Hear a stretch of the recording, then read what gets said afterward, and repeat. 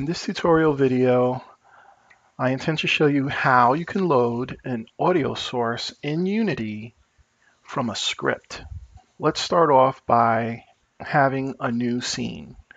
To the scene, I'm going to add a empty game object.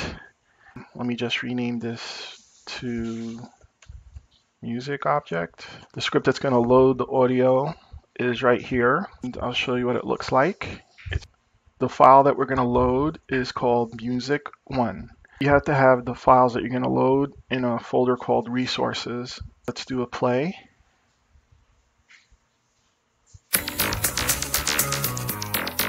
And you can see that when I press play, the audio source was added and the clip music was loaded. Let's just look here. If I were to manually do this, these are the things. The first command adds the component. That's what this command does. It adds the component. And the second command right here, audio clip, the second command basically assigns music one as the audio clip. That's what this command does. Let's do another one here.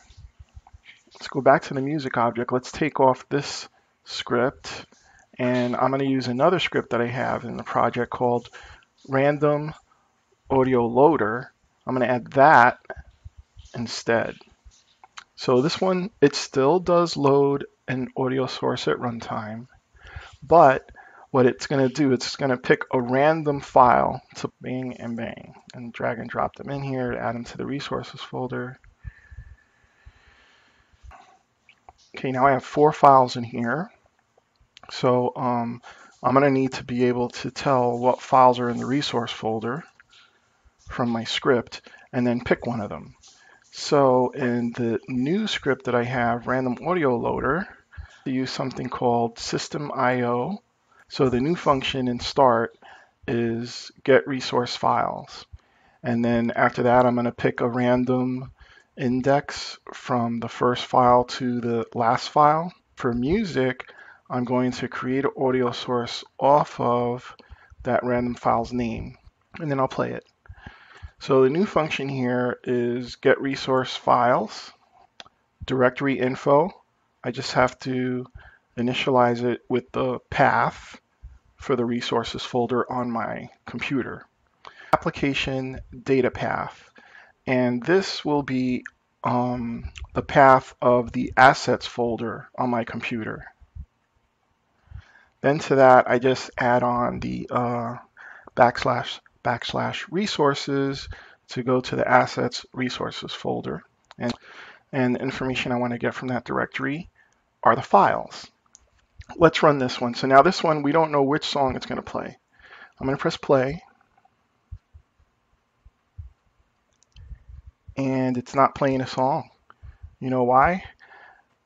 I don't know why. Well, let's do let's step through this in um, debug mode. So I'm going to say attach to Unity and play. And I'm going to put a breakpoint right here. So I'll press play and right here it's getting started up. It takes a little while longer. See the way the colors are two-toned? That's because um, in debug mode here. So here we can see we stopped on this line files equals get resource files start at mp3 and let's step into there and see directory info do we get a structure? Yes. And get files? Do we get files? Yes we got four of them. One two three four. And then we return the files. Okay. So that part worked. We got the files four of them. Now let's see about the random number. Files length is 4, so this should give me a random number, a random integer between 0 and 3, because it never includes the last number. So my random integer is, on this occasion, 0. So files at 0 dot name, let's see what that equals. That equals, should be music 1. And let me just, um, since it's not popping up, let me do a quick watch. Yep, music 1.mp3. Oh, now remember when we did the audio loader, we said we have to give it and don't use the extension. That's what's happening. We're calling this function and it has the extension on it. Let me stop and For create audio source, I wonder if there's a thing named without extension or there's a way to get it without the extension. So let's see. Um, string file name equals files at r dot name.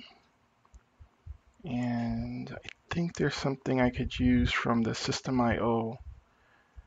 It's um, path dot uh, get file name without extension and then pass in that name right there. Okay, so file name should equal file name without the extension, and now I'll pass that in instead. Okay, bam. Save, and let's just see if that works. I'm just going to run Unity straight. Look at my music object there and play. Okay. Loaded music one. Let's try it again. It's loaded music one again. Let me try it again. Loaded music four. So you see it's random every time I press play. Um, so that's it. Take a look at the script for the random loader, which has everything. This is create audio source, and this is the um, get file names from the resource folder. There you go.